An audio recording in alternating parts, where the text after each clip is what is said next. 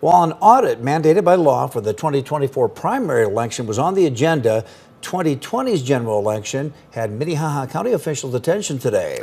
KELOLAND's Dan Santella was at the meeting to show us where they agreed and where they sharply did not.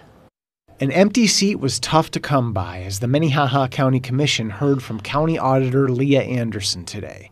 While state law requires an audit of 5% of precincts, Anderson says that doesn't go far enough. She wants a total audit of the June 4 primary election. And I don't think that 5% of an audit is an adequate amount to verify an election. Anderson points to the 2020 general election. She alleges that audit logs in the county account for just under 69,000 counted ballots.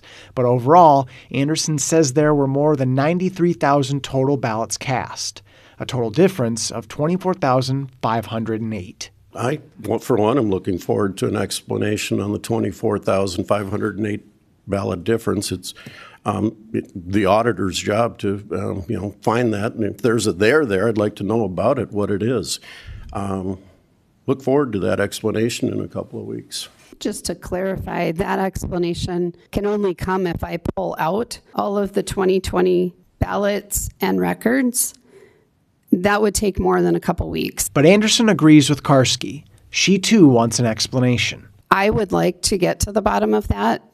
Um, it will take some time, and I will get it done um, as long as I'm not uh, breaking any laws. To release this and a screenshot of a of a, a spreadsheet that is supposed to be some smoking gun, there's just no there there. But Anderson's allegations and her not having an explanation for the discrepancy don't sit well with Commissioner Joe Kippley.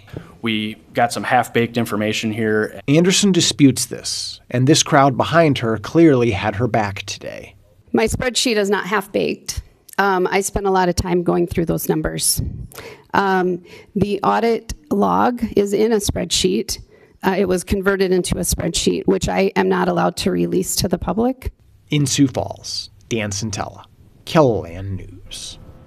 The audit for the June 4th, 2024 primary election is scheduled for one week from today.